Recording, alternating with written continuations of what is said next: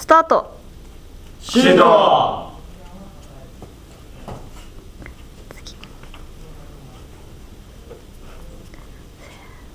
ディフェンス。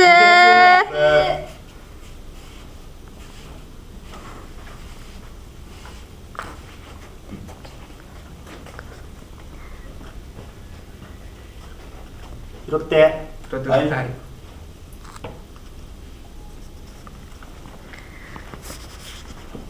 ハムストリングスの柔軟性の発表を行います。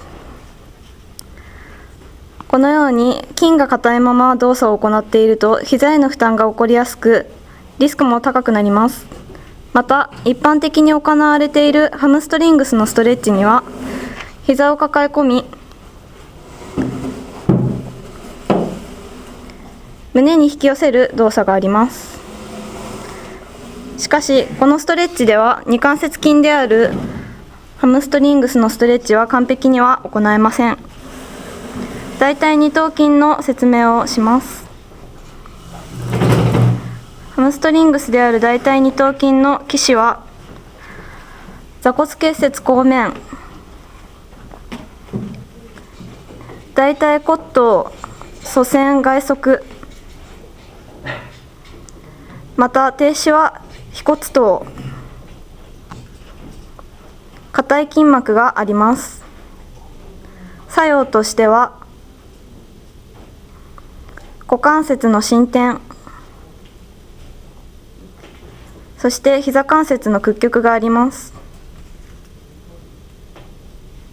そして正しいストレこの筋を正しくストレッチするには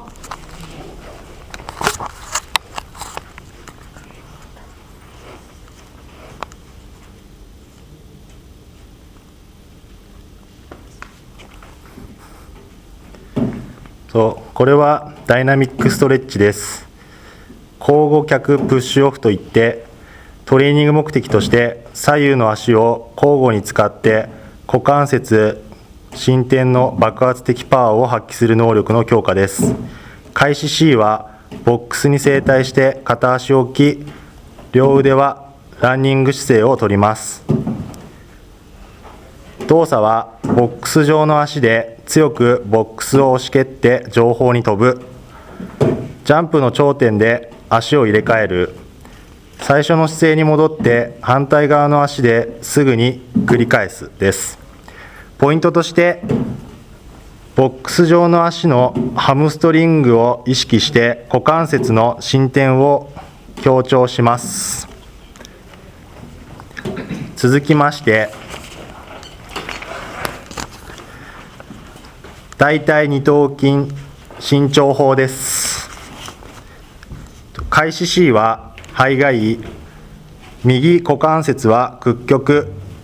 外旋位。質関節は軽度屈曲位です。自分の位置は右側。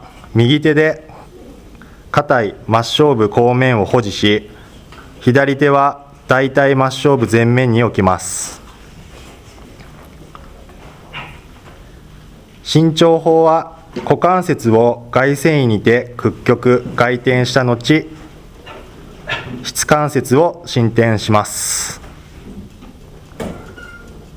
尾行として大腿二頭筋の基支部は半腱腰筋半膜腰筋とほぼ同じ走行をとり筋連結を持つため股関節中間位にて伸長する方法も必ず行うこと。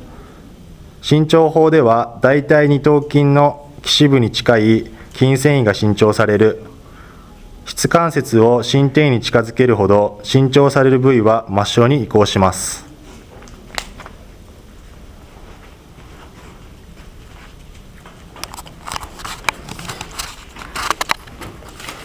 このように正しいストレッチを行うことでシュートシュートディフェンス。